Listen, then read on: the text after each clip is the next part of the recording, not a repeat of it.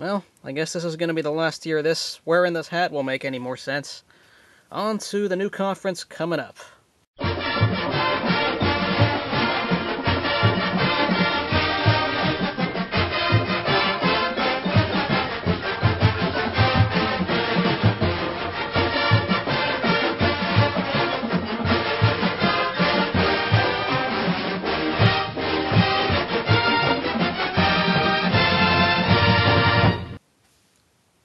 Going on, everybody? Uh, last of the college football series, San Jose State. One that some of you have been waiting an entire year to watch this video. Uh, San Jose State coming into the third season under Mike MacIntyre. Last season in the Western Athletic Conference, or the WAC. Uh, we're moving on to the Mountain West after this season. Uh, amazing, you know, amazing pff, amount of headlines happened in the, this off season. Let me just break it down for you. Uh, first off, the infamous Tate Forcier, who never was on this team in the first place, in my opinion. Guy couldn't cut it academically, transferred, he tried to get a job in the CFL, he's not even there anymore.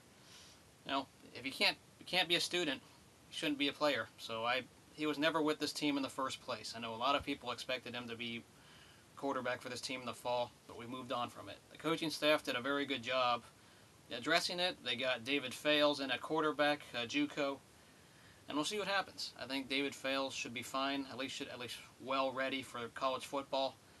And of course, the other headline of moving to the Mountain West. Uh, as I've already addressed in a previous video, big headline. I mean, Tom Bowen resigns and takes another job at Memphis to be the athletic director. Suddenly, with an interim director or athletic director, we get an invitation from the Mountain West. San Jose State and Utah State go over to that conference because of probably the Mountain West was in danger of dying. They lost, I believe, San Diego State and Boise State uh, earlier to the Big East. So, uh, because of that, San Jose State and Utah State now have a home. Uh, this Western Athletic Conference, who knows what's going to happen? There's only seven teams right now, and I know us two are leaving. Probably Louisiana Tech goes to Conference USA. Uh, I'm not sure what's going to happen to the the new Texas schools that have just come in, and then New Mexico State and Idaho. Who knows what's going to happen? I, they're right now on an island, stranded, as of right now. So, a lot of weird, you know, headlines with this. Uh, the WAC last season in the Western Athletic Conference. So play up, guys, as the the conference says. On to this season. Uh, last season, very very happy with that five and seven record. I know some of you might be saying, why would I be happy with a losing record? But San Jose State's team improved a lot. Not just more competitive games, but they were able to get over the hump and win games, going five and seven. Uh, that included wins over teams already in the Mountain West and Hawaii and Fresno State. They could have beaten Nevada too if it weren't for a late interception. But the team got better, and there were eight competitive games or, during the year. Maybe you could argue nine that were all decided or, or they were well in within the fourth quarter. Uh, there were a couple. There was a little bit of heartbreak in between with Nevada and Idaho losses, but then they rebounded well. Uh, they were able to overcome their demons. Hawaii, that was arguably the biggest win since I've been a student. Uh, the win over Hawaii, I was very happy on that one because that's the one team I can't stand. But uh, enough of me. That this was it was a good season because after that, after they lost to Idaho and and Utah State in heartbreak fashion, they rebounded well, picking picking themselves up against Fresno State and Navy in back-to-back games uh, and they were able to win those close games. I mean, beating Fresno State uh, doesn't happen very often, and uh, it's only happened, I believe, two times in the last 20 years or 22 years. I don't know the exact number, so someone correct me there. But beating Fresno State, uh, if it weren't for 2006 and last year, it, those are the only two times San Jose State's beaten them. So winning last year in Fresno was remarkable. So with that being said, Mike MacIntyre got an extension. I think some of it was based off of just the big improvement in wins. And I can't blame him for that there. Uh, I, I, say good luck to the, him. I think the defense is a lot more improved. The team is a lot more competitive when you watch them out there. Now it's just getting over that hump and getting some more convincing wins. And uh, getting over that hump to get to a bowl game, or at least bowl eligible. I know the rules for this conference is a little bit uh, screwy I believe it's like seven seven teams. You have to win the conference to be guaranteed a bowl game. Otherwise, even if you go seven and five, I don't think you're guaranteed. Uh, the way Western Kentucky was snubbed last year. Going off the offense, uh, the offensive line has to go through a few changes. Uh, a couple seniors graduated last year. It's gonna they're gonna need to run block especially well. Uh, we have DeLeon Eskridge coming in, transfer from Minnesota. Uh, he's going to be, I think, our starting running back.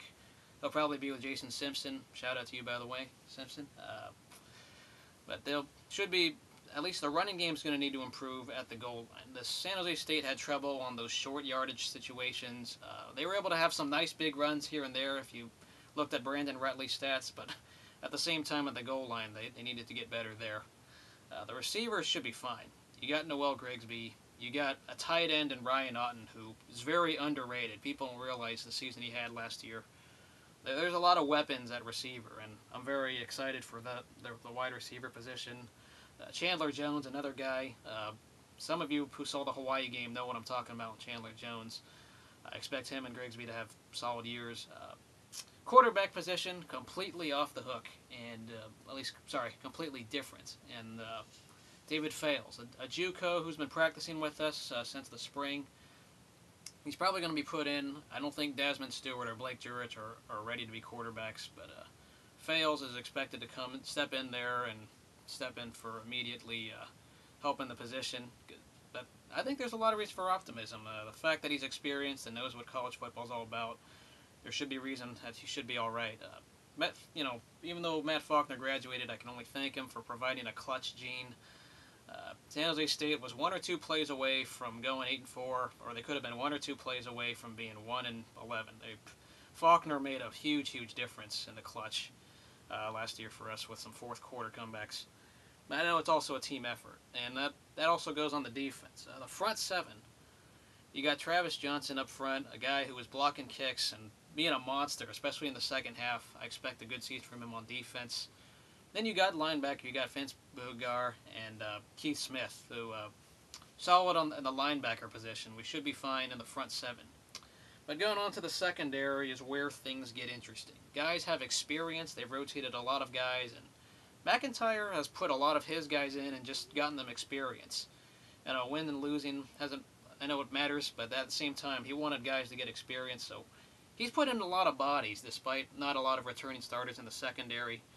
The secondary is going to need to be really good very quickly because it, it's the inexperience on paper doesn't look exactly great. But if they could be good in the clutch and get stops, then this team can win games.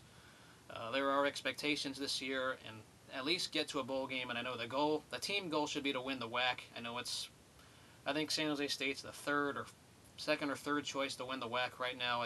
Louisiana Tech is the unanimous favorite. There's a there's like one or two teams that could give them fits as well, but San Jose State has the ability to be bowl eligible if they take care of business in games. They were underdogs in majority of games last year. Now they're not going to be sneaking up on everyone. They need to take care of business against teams they're supposed to. Uh, but yeah, the secondary, it'll be interesting because there's some guys who just don't have the same experience. Well, James Orth and uh, Ronnie Yell, who were both there last year, should. There's, they're going to need to be, as I said, they're going to need to step it up, play well if they want uh, at least to get stops, key stops in the fourth. The, the front seven should do take care of business. I need to see good pass rush, and obviously, this team is on the rise and I hope they live up to that hype of how they played last year. There was a lot of those games where they were just competitive, and you could tell they got better. Some of them didn't turn out to be wins, but when you watch the games, they were clearly more competitive and not just lying down and getting blown out. Uh, so the growing pains.